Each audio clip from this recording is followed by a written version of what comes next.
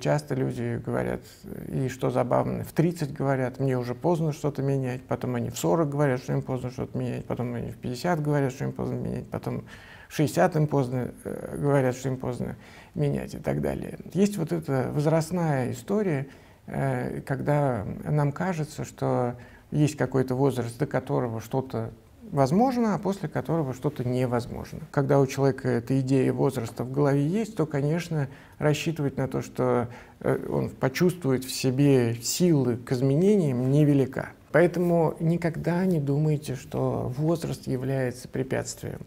Э, в возрастной психологии, значит, кризис, который, как бы сказать, финальный, э, подведение итогов, он в районе 80. Вот, поэтому до 80 можем жечь вообще просто даже не оглядываясь. А после 80 можем еще как-то подумать.